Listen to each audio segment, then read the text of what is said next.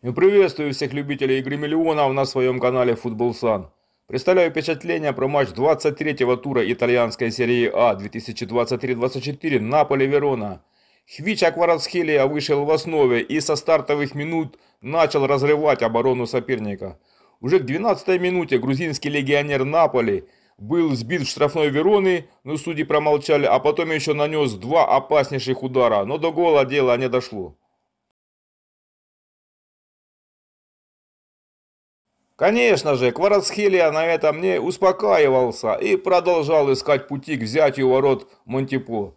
И постоянно нарывался на подножки, после чего вставал с газона и выражал свое недовольство судейскими решениями не в его пользу. Как бы то ни было, но тактика мелкого фола на лидерах атак Наполи к 30-й минуте успокоила игру.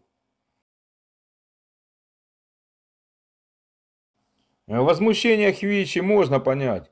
Ведь он ни разу не создал момент самостоятельно или после пасов партнеров, потому что грузина постоянно либо останавливали, либо перекрывали защитники Вероны.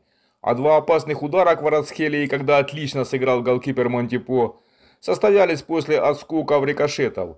Э, Кварацхелия часто, вместо того, чтобы отдать пас, сам пытался пройти по 2-3 соперника сразу, что срывало перспективные атаки. Штрафные удары в виде навесов во вратарскую соперников от Кварацхели тоже ни к чему не приводили.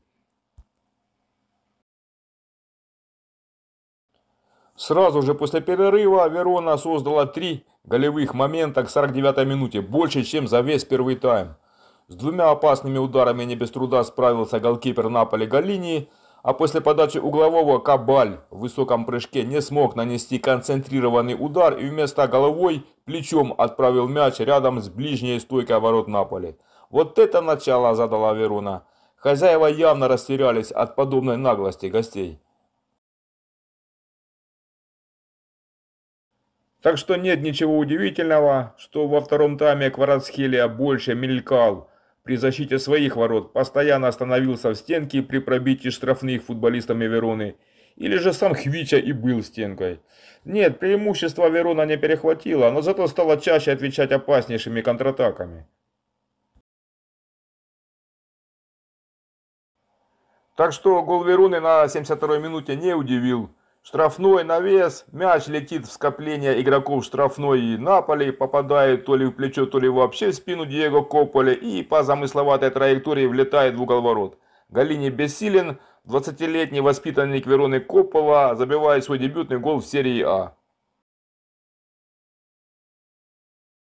Но вот тут-то Наполи проснулся окончательно и буквально запер гостей в их штрафной. Мантипо дважды подряд спасает свои ворота после сильнейших ударов. Но и он был бессилен, когда Линстрём зряче отдал пас в центре штрафной на Сириле Нгонге, который расстрелял ворота своей бывшей команды, поэтому и не праздновал гол. Кстати, и Линстрем, и Нгонге вместе вышли на замену на 62-й минуте, такой вот факт.